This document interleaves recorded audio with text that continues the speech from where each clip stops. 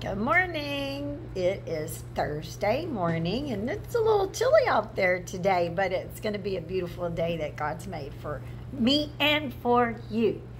And today we're still learning about when Jesus made the storm be quiet. Can you be quiet? Everybody put your finger on your lips and let's play the quiet game and let's see who can be the quietest in the class. You ready?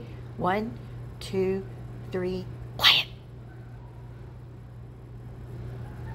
Is everybody quiet? Nobody talking. Nobody making a noise. Quiet. Just like that, Jesus made it quiet on the storm. when the winds were blowing hard and the waves were rocking the boat and the rain was coming down and it was so so scary because the disciples thought they might fly out of the boat because it was so bad.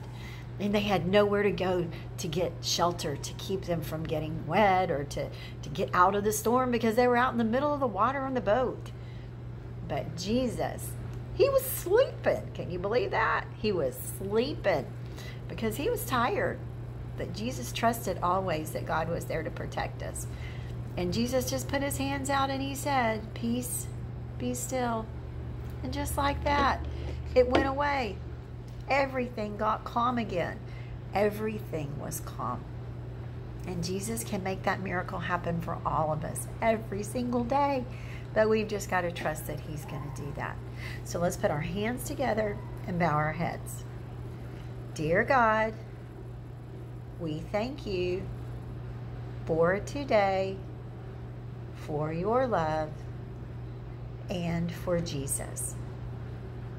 Help us to remember the story of when Jesus made a miracle by quieting the storm. In your name we pray. Amen. All right, let's say our Bible verse together, all right? So point to your brain. Remember his wonderful works, his miracles. Let's say it again. Remember his wonderful works, his miracles.